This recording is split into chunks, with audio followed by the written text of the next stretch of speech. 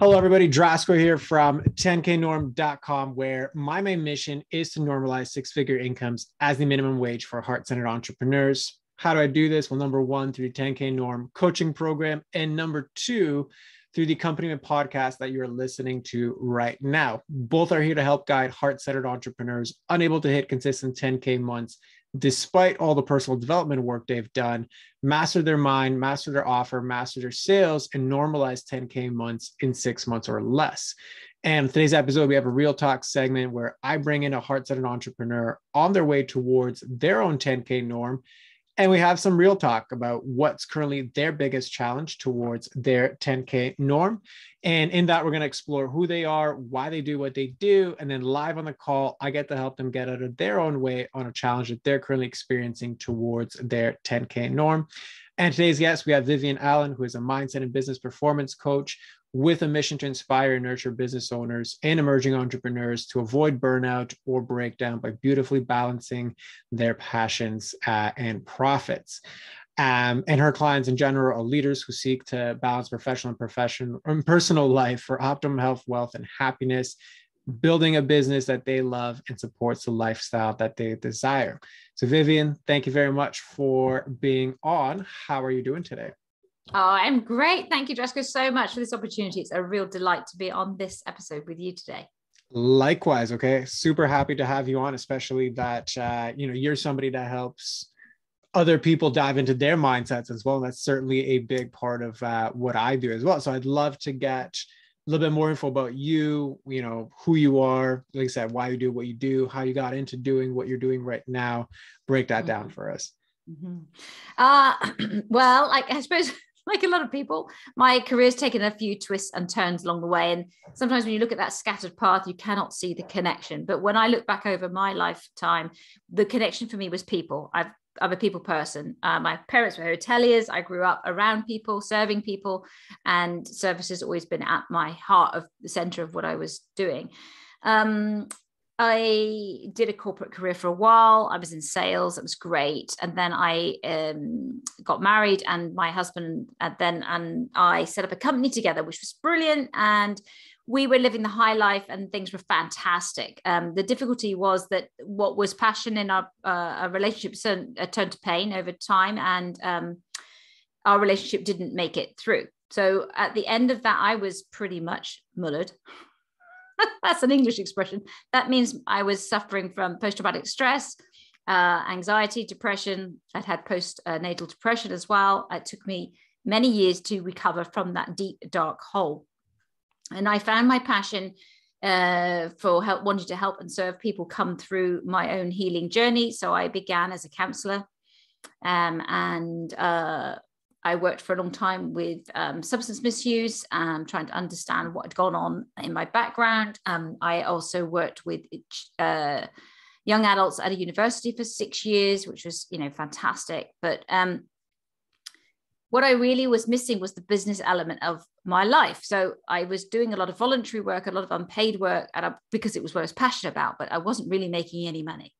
So I decided to combine my business skills and having worked in many different environments, set up lots of businesses um, with my counseling. And that's how I got to the coaching elements of the mindset coaching. Because now I understand, you know, from my own journey of being able to balance what I was passionate about with making money and that's okay. And it's that whole money mindset thing that you know i'm really wanting to explore some more with you because although i've made lots of uh, traction in that direction i'm sure there's still lots to uncover. So.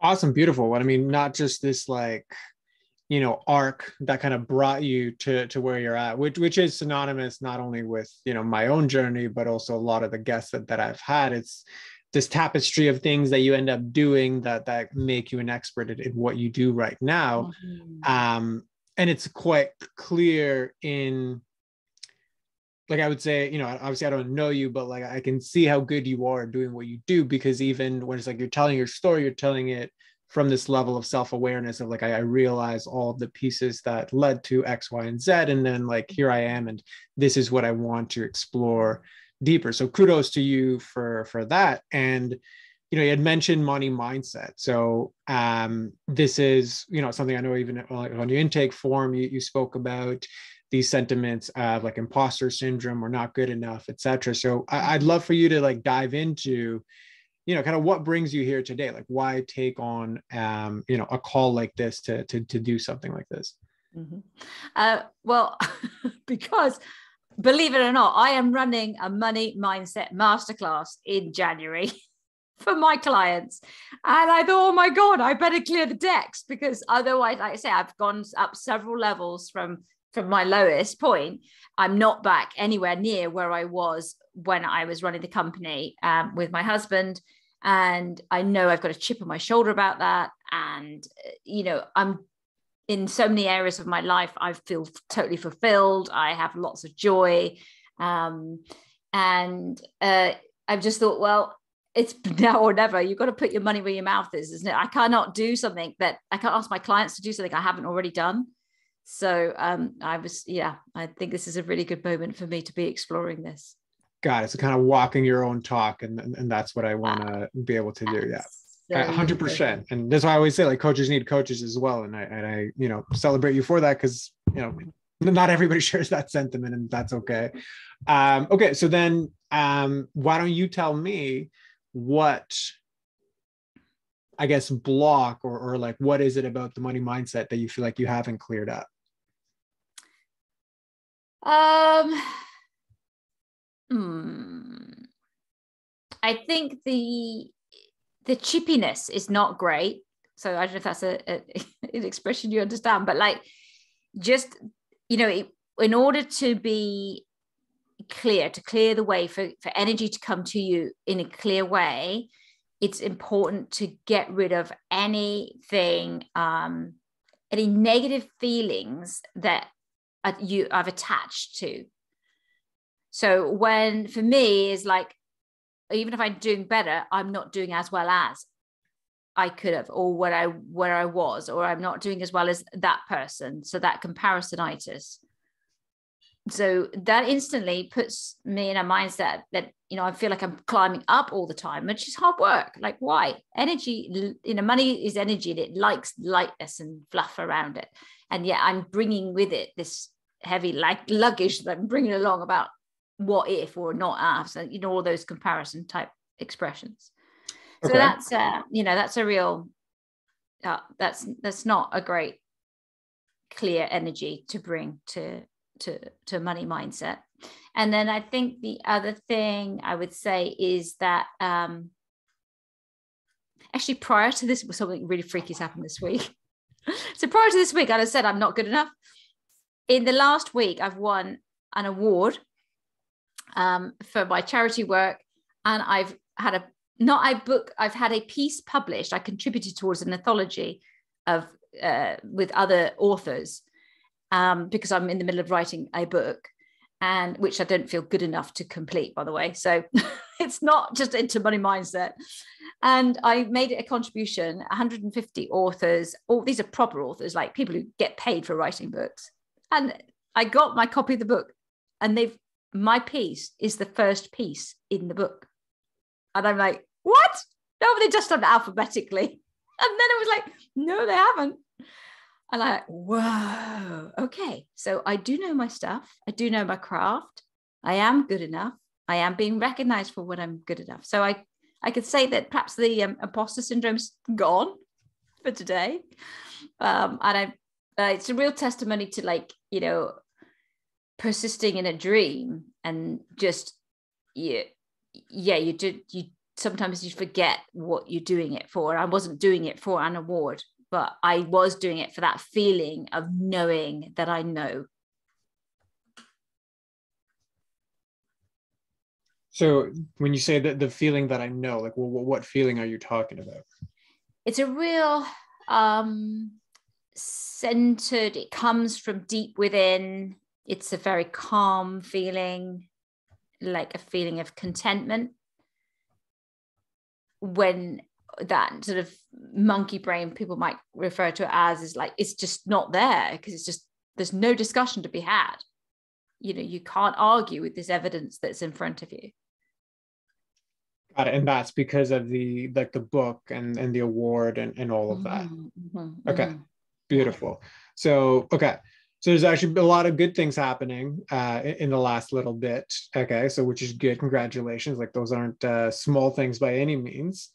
Um, okay, so I'm curious because you started this whole thing off talking about money mindset, and then it went into well comparison, it went into imposter syndrome, it went Mhm. into kind of doubt, it went into the good things that are happening. So, is this really about money mindset, or is it about something else? Uh, I, uh, well, I think that if we were, I, I, I think it's about money because I think that I, you know, I want to raise my prices in January, which um, I, I'm due to do, if that makes sense, and I have got a course out. I've got the masterclass. I'm doing all the things, but I, in order to f- sell out those products and services, I think that I want to clear the channels for to welcome more money in uh, on a regular basis. Got it. Okay. So if you had to verbalize the problem, what's the problem right now? That I'm not in the same when I think about like I'm going to use the word entitlement, which is a bit odd. So I'm wondering why I'm using that, but and because these are externally referenced things. So, but uh, this is where I'm at. So, like, I've now seen my name in print in a book. Now I know I'm good enough for a book and I can be that author that I want to be. Now, does that make sense? Yeah, and there's a yeah. real tangible feeling to like, oh, there's the proof, I guess. Um, and the same thing with the with the award for my work with my charity. It's like it's an infant mental health charity, so it's quite specialist field. Um, and though I'm, I'm a counselor and psychotherapist, I'm an expert by lived experience as well. So a lot of what I draw is from my own experience, as well as all the reading and stuff I did for all my qualifications. But um, nothing's, well, there you go. That's it. Nothing is the same. You can read about it, like you can know it, but till you experience it, it's not. It, you know, that's the that's the knowing. That's the know I know thing I'm talking about. So elaborate a little bit more on that last piece. So you can know it, but until you experience it, it's not really real. What what specifically you're talking about? So you can know something intellectually, like I know I need to raise my prices, and I know that I still give way more value than the rate I'm charging out at. Um, and uh, but until I do it and and people sign up, there's that wobble in between, isn't it? That there's that there's the wobble. It's like so the follow through on that. So break it down further. So until people sign up, then what?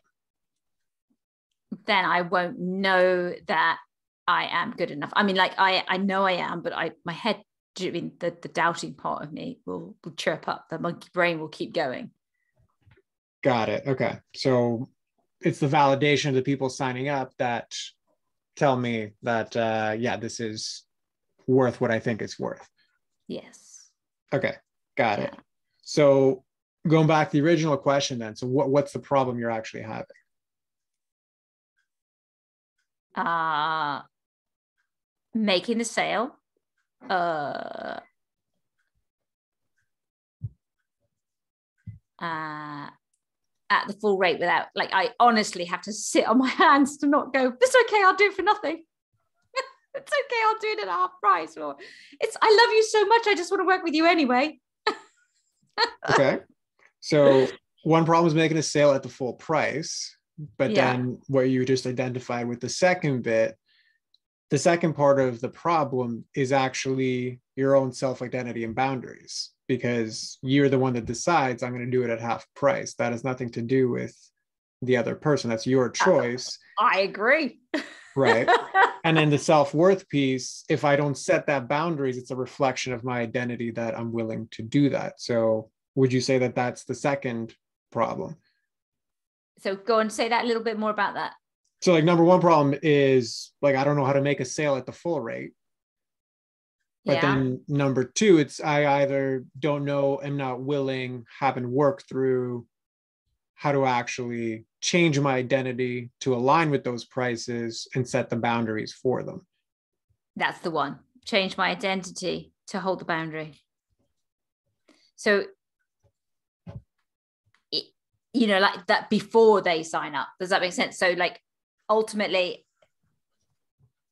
if I'd worked through everything, I would have known my work was good enough and not been surprised that I was on the front page of this book. And I just go, sure, I was because my piece was brilliant, you know, like type thing. And it wasn't that I, yeah. So rather than being externally referenced, I want to be internally referenced to, you know, knowing my identity is, of course, that, you know, why wouldn't you? Right. And now, okay, that's reflecting back. And I was going to circle back to it, but you did bring it up. So, like, problem mm-hmm. number one, right, is like, I, who I am is not reflective of like who I know I can be. Like the, those two right now are aligned or, or not aligned rather, right? Like my identity is somebody who gives 50% discounts, doesn't have boundaries around these things, will do it for cheaper anyway. Right. So there's sentiment basically around the self-worth piece right like that that mm-hmm. is a mm-hmm. problem that mm-hmm. will seep into whether you sell a course whether you sell a program whether you sell your coaching like whatever it is that you sell mm-hmm. it will falter to the level of your identity right so that's kind of problem number one yes an offshoot of that is what you just identified which i agree with you even when you look back through this conversation the only time that I was validated that I could be in a book is when somebody put me in a book and said, You're now worthy to be in a book. Mm-hmm. Right. Mm-hmm. Whereas the identity, like, it's like, okay, I got lucky. So imposter syndrome is done for the day. Right. And you said that, like, okay, now I'm not imposter for today. what's going to happen tomorrow? So we go back to, again, the original problem of, well, my identity does not reflect who it is that I actually want to be. So does that part make sense? Yes, I love that. So uh, my identity must reflect the person. Oh, hey, but it's the person I want to be.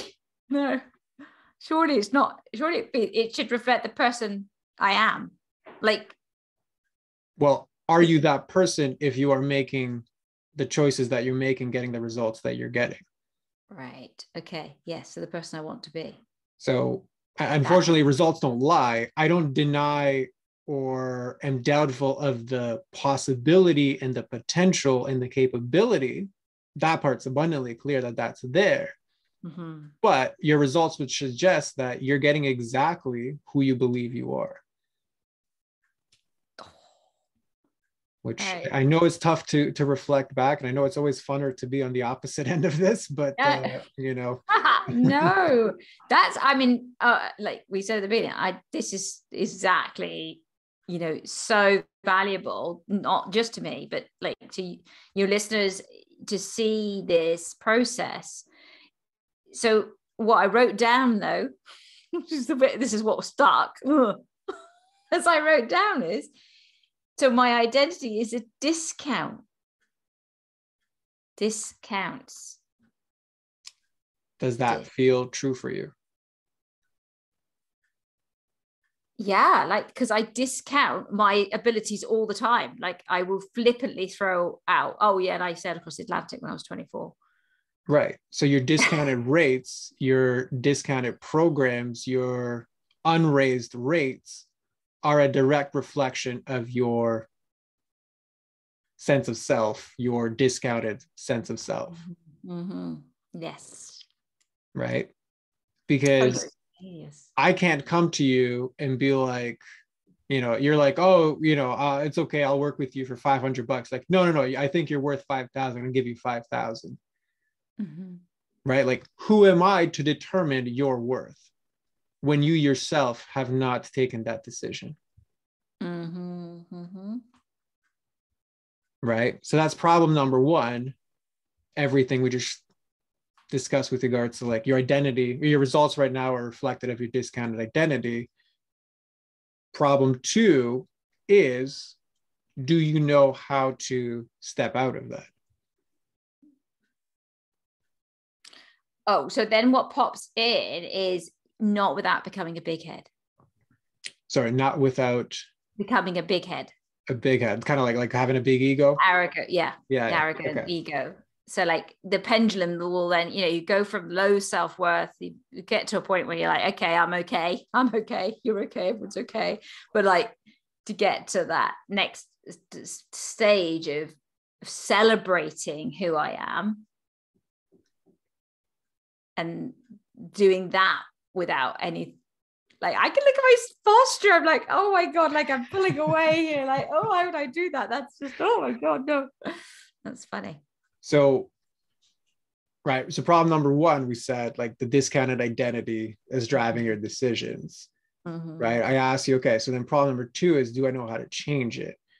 The immediate response was, well, I can't do that without becoming egotistical. So right away it's an indirect way of saying no i can't because you just gave me the reason why you can't actually do it mm-hmm.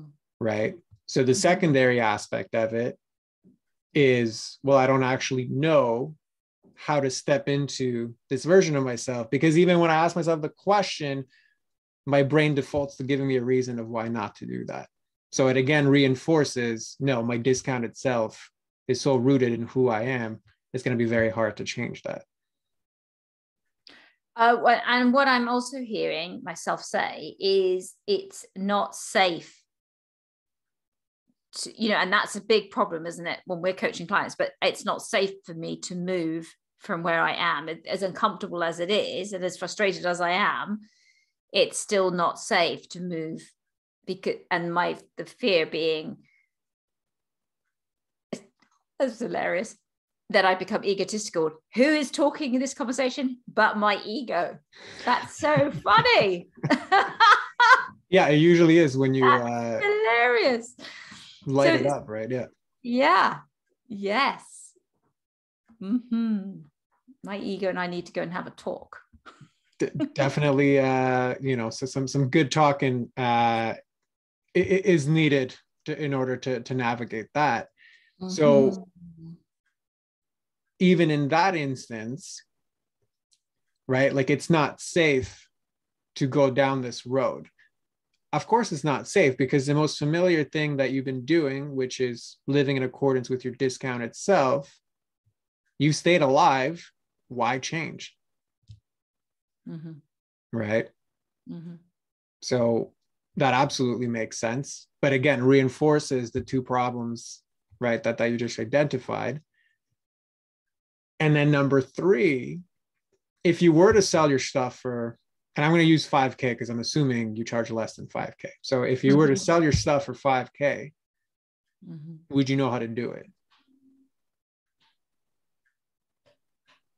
I mean, you talk about the sales process, or you talking about where I would need to put myself in terms of my state to do that? Well, you tell me. Like it could be one or the other or both. Uh, well, I, I don't, I don't know. Is the short answer in terms of I, you know, I have a strategy. I have a, you know, a marketing plan and all, you know, that sort of stuff. So, um, mm, the uh, the only thing that's coming up is that certainty within that transaction of being as comfortable with myself about my rate as I want my clients to feel. Because uh, if I don't, do you see what I mean? So say that again. What, what you, I think I know what you mean, but I'd rather confirm it. So uh, explain what you mean. So if I'm not feeling comfortable in my rate, that will energetically transfer in my communication. So then, if I'm not certain, then the clients definitely aren't going to be certain. And so then it, it makes it very hard for them make, to make a decision because they're probably thinking maybe I should get a discount. 100%. I, I do agree with you. Yeah. So it was it's a yes or no question, right? Like do I know how to sell my stuff for 5K or whatever higher rate you want to choose? Yeah, yeah. Do I know how to sell it for the higher rate? Mm, I think I know an element of what needs to change, but I guess I won't know I know until I've done it successfully, repeatedly. Right. So we're getting back to Mhm. the validation of the external. It's only when the external tells me that I have permission to do this that I can actually do it. Mhm. right? But if you look at because all of these things ultimately, like uh, you're familiar with the the guy that ran the four minute mile, Roger Bannister, I think his name was. Yeah, name's familiar. So anyway, the the four minute mile was considered for the longest time to be humanly impossible to actually do. Mhm. Nobody could do it, and then one day this guy Roger Bannister goes and he runs the four minute mile. I was like, holy crap, how did he actually end up doing that? Obviously, he believed that he could do it before he got the validation of running it, that he knew that he could do it. Mhm. But what's more interesting isn't that he ran it, was more interesting after he ran it, a bunch of other people ended up running four minute miles, yes. right? But the story before that was exactly the circle that you're looping through right now, which is, well, I don't know if I can do it until somebody shows me that I can do it, and then I will believe that I can do it. Mhm. right? So going back to the question, do I know how to sell for five thousand dollars? To me, it's obviously a no, because you know even after asking you twice, it was like never a clear answer, right? It was kind of where we're incrementally getting there, Mhm. right? So does that part make sense? Yes, I'm with you. Okay. So basically, you now have kind of the outline of well, my identity is discounted. Okay. Mhm. it, it seeps into how I make decisions and how I live my business essentially. And even in terms of skill set, I'm 100% confident that I can sell at the level that's going to allow me the lifestyle that I want. So, does that, like, how does that resonate with you? Yeah. Yeah, I'm with you. Okay.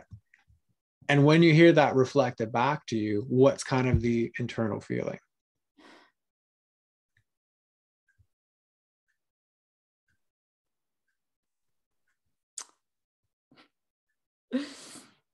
Disappointment. Oh my God, I'm so disappointed with myself. That's not good because it's just going to put me back in that loop. But yeah. I, you know, it's a, that whole, um, you know, not appreciating myself as a human being. Re- you- Does it make sense? Not this achievement or that achievement or anything, but just as a human being of equal value to every other human being on the planet.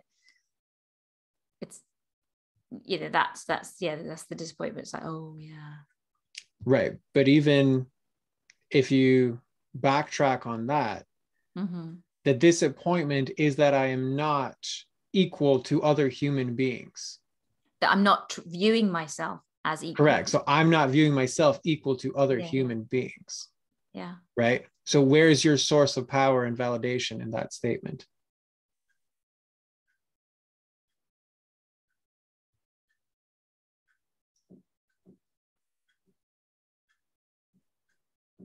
Right. Absent. The comparison was to other human beings. Oh, external again. right? I have now come to the realization that my current worth is lower than my perceived worth of other human beings. And that is why I'm disappointed. Gee, I wish I could just be equal to other human beings. But Mhm. obviously, you didn't say that, but that's kind of what I'm trying to Mhm. illuminate like where your brain is defaulting to.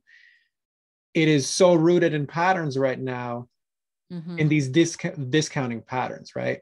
Mhm, mhm. even right now with three clear problems standing in front of me it goes into and indulges in this loop of discounting myself so i can drive myself further into this doom loop and reinforce that inherent self like self unworthiness right and i'm not saying these things to put you down but more just to no. illustrate mm-hmm. there was an opportunity to say, okay, I understand my problems. How do I solve them? What do you think I should do? I know what I should do.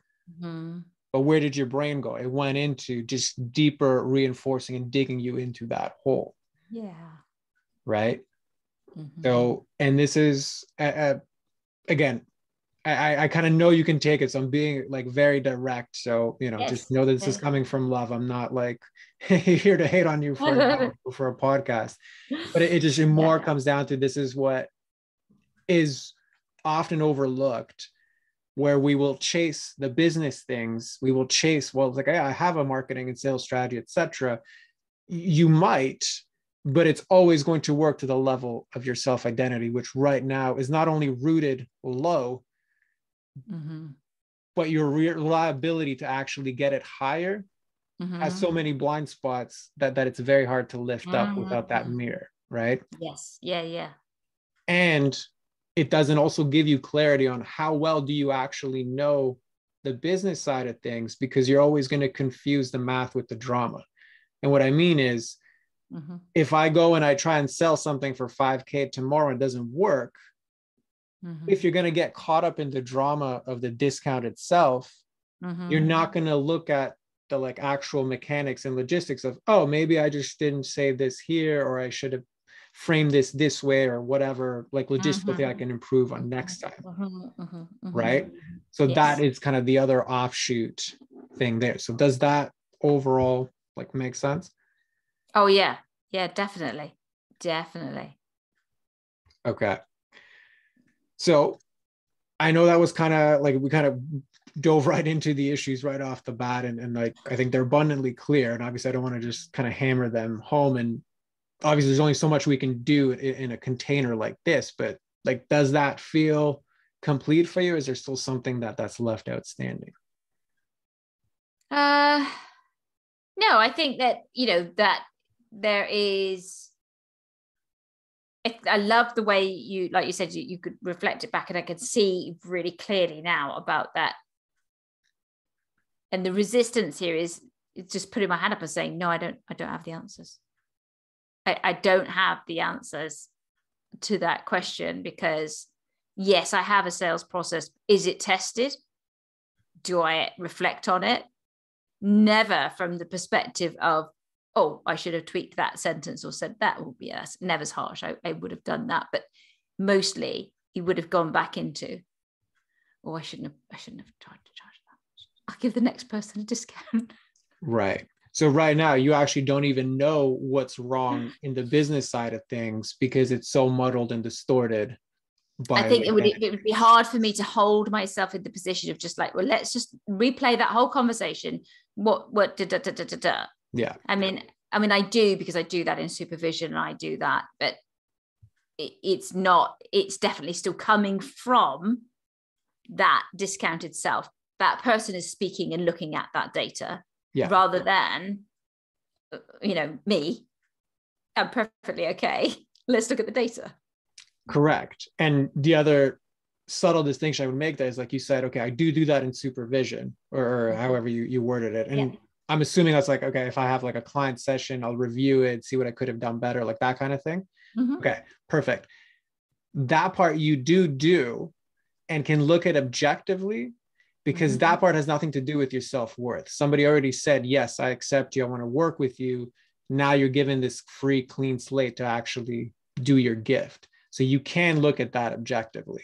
Mm-hmm. But on the flip side, when it comes to doing that on the business side of things and the sales, like right now you're at a wall right that there's too much baggage going into it to do that objectively yeah i mean i mean i will use i will use my supervision to talk about sales calls that have you know how they've gone and even if people haven't bought so i will use that to reflect but equally i think um you still what you're saying is valid that yeah. there is still too much of the other chatter going on to be able to look at it objectively yeah that makes sense. But again, awareness is always the first step. So I'm, I'm glad to see that that's in place. So again, anything that's left outstanding for you at this point?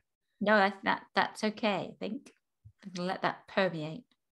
Okay, fair enough. Well, uh, thank you very much for you know your courage and vulnerability to to do something like this in, in this kind of public setting. So I'm gonna leave the floor to you to just tell everybody, you know, where they can find you, who's the best person to find you, and uh, you know, we'll, we'll close it off with that. Oh, that is fantastic. It's been an absolute pleasure, Jessica. I really appreciate it. You can find me on Instagram at Viv Allen Coaching or my website's vivallen.com. Uh, I'm also on Instagram, uh, LinkedIn, and Facebook at Viv Allen Coaching. Just find vivallen.com. Awesome. We'll put all of that in the show notes. So thank you very much for uh, coming on. It was definitely a pleasure. And uh, for everybody else that's uh, listening, you know, we'll see you on the next one. Thank you very much. Cheers.